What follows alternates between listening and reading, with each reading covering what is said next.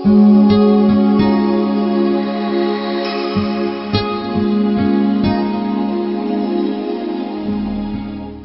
graça de nosso Senhor Jesus Cristo, o amor do Pai e a comunhão do Espírito Santo esteja com você, meu irmão, minha irmã. Aniversariantes. Parabéns para você que aniversaria hoje, sábado, dia 17. Eu quero começar parabenizando a minha irmã Marinete, lá em Santarém, do Pará. Celebra hoje seus 60 anos de vida. Parabéns, minha irmã.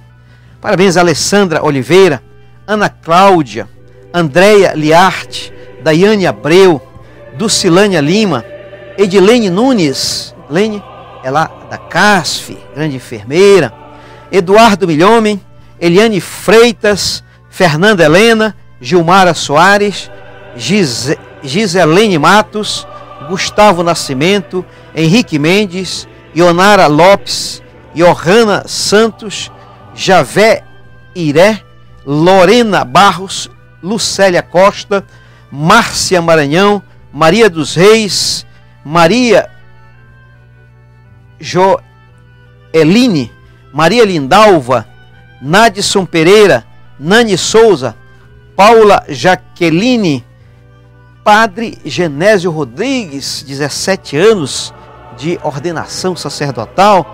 Parabéns, Padre Genésio, e também ao Padre Reinaldo, celebra hoje seu sexto ano de vida presbiteral. Raio Genzemi Baeza, Rosilene Gabriel e Wellington Mesquita. A vocês, parabéns.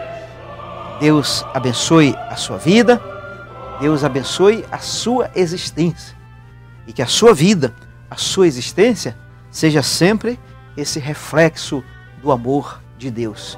Vocês procurem fazer sempre o bem em suas vidas, que não se cansem, como diz Paulo aos Gálatas, não se cansem de fazer o bem, fazer as pessoas felizes, né?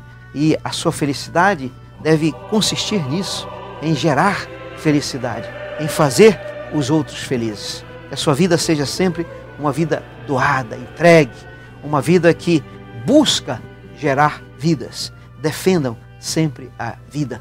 E procurem hoje participar da celebração eucarística, agradecendo a Deus pela sua existência. Parabéns, que Deus lhe abençoe.